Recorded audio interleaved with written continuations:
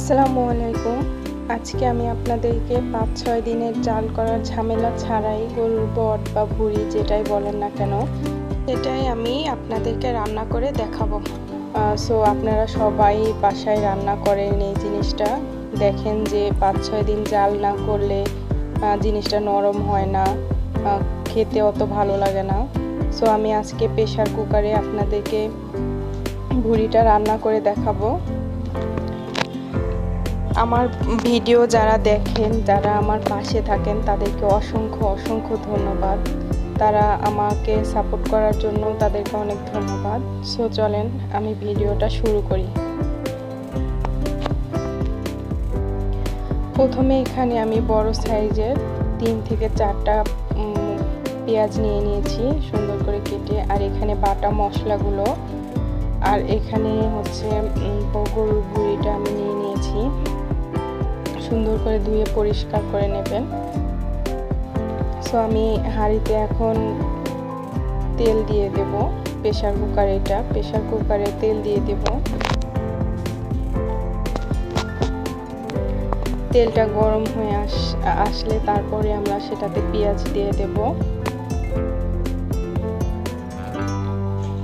আর আমি পেঁয়াজের সাথে কয়েকটা দারচিনি আর কয়েকটা এলাচ দিয়ে দেব।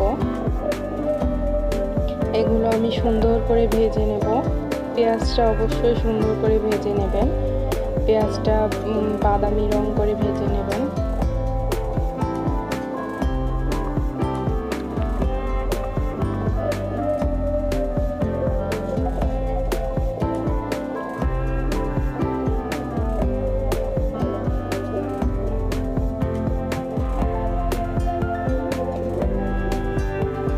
দেখতেই পাচ্ছেন আমার পেঁয়াজটা ভাজা হয়ে গেছে। এ পর্যায়ে আমি বাটা মশলাগুলো অ্যাড করব। সর্বপ্রথম আমি লবণ দিয়ে দিলাম। লবণটা আপনারা স্বাদ মতো দিয়ে নেবেন। এবার আমি বাটা মশলাটা অ্যাড করব। বাটা মশলায় আমি দুই চা চামচ রসুন বাটা, দুই চা চামচ জিরা বাটা, আদা বাটা দেড় চামচ দিয়ে দিয়েছি।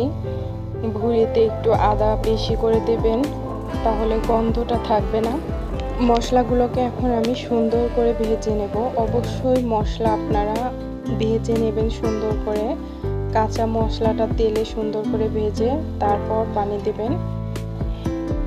আমি প্রথমে ভেজে নিচ্ছি সুন্দর করে। এ পর্যায়ে আমি পানি দিয়ে দেব মশলায়।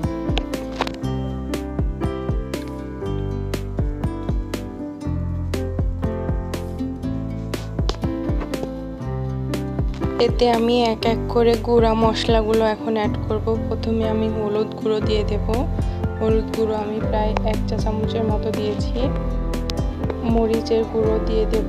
মরিচের গুঁড়ো আপনারা আপনাদের স্বাদ মতো দিয়ে নেবেন। যেমনটা ঝাল পছন্দ করেন, তেমনটাই দিয়ে নেবেন।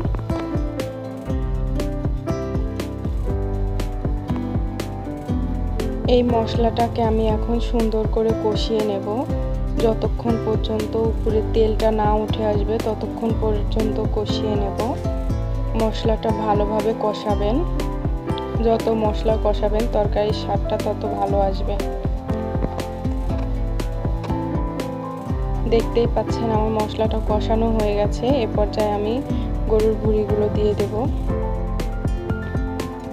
ভুড়িগুলো দিয়ে আমি নেড়ে চেড়ে দেবো, সুন্দর করে নাড়াচাড়া করে উল্টে পাল্টে দেবো।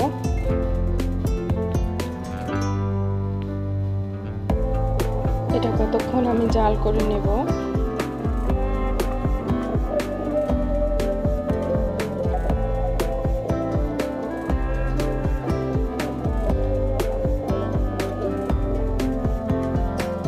এই পর্যায়ে আমি ঢাকনা দিয়ে সুন্দর করে ঢেকে দেব। দেখতে পাচ্ছেন আমি ঢাকনা দিয়ে ঢেকে দিয়েছিলাম। আমি ফিরে আসছি চারটা সিটি দেওয়ার পর। এই চারটা সিটিতে আমি কিন্তু পুরিটাকে কষিয়ে নিয়েছি। শুধু কষিয়ে নেওয়ার জন্য আমি চারটা সিটি ব্যবহার করেছি। আপনারাও এভাবে দিয়ে নেবেন চারটা সিটি। এ পর্যায়ে আমার কষানো হয়ে গেছে। এখন আমি এর সাথে কিছু আলু দিয়ে দেব। আমি উপকরণের সময় দেখাতে মনে ছিল না। সো আমি এখন আলুগুলো দিয়ে দিলাম।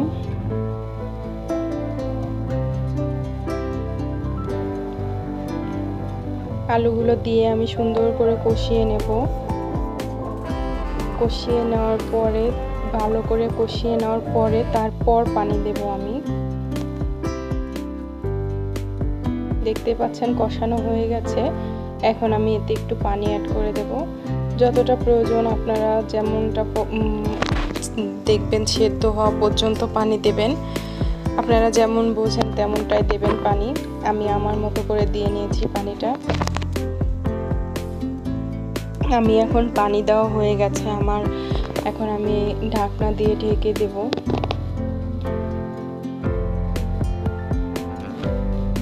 আমি ঢাকনা দিয়ে ঢেকে দিয়েছিলাম, এ পর্যায়ে আমি দশটা সিটি দিয়েছিলাম, দশটা সিটি দেওয়ার পর দেখতেই পাচ্ছেন তরকারিটা আমার সুন্দর হয়ে গেছে। গরুর ভুঁড়িগুলো সুন্দর নরম হয়ে গেছে। একদম হয়ে গেছে দশটা সিটি দেওয়ার পরে সুন্দর নরম হয়েছে। যেমন চার পাঁচ দিন জাল করলে যেমন নরম হয়, তেমন নরম হয়েছে আমার ভুঁড়িগুলো আপনি দেখতেই পাচ্ছেন, জোলটা গায়ে লেগে লেগে এসছে। আমি এ পর্যায়ে চুলা থেকে নামিয়ে নামিয়ে নেব। দেখতেই পাচ্ছেন, আমি নামিয়ে নিয়েছি। আমার তরকারিটা এরকম হয়েছে।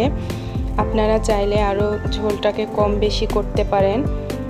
সো আমার ভিডিওটা যদি আপনাদের কাছে একটু হলেও ভালো লাগে সো সবাই আমার পাশে থাকবেন, আমার চ্যানেলটাকে সাবস্ক্রাইব করে বেল বাটনটা অন করে দেবেন, যাতে আমি পরবর্তীতে নতুন কোনো ভিডিও দিলে আপনারা সেটা পেয়ে যান। আর কেউ পাশে না থাকলে কেউ আগাতেও পারে না সো আপনারা আমার পাশে থাকবেন। ধন্যবাদ ভিডিওটা দেখার জন্য।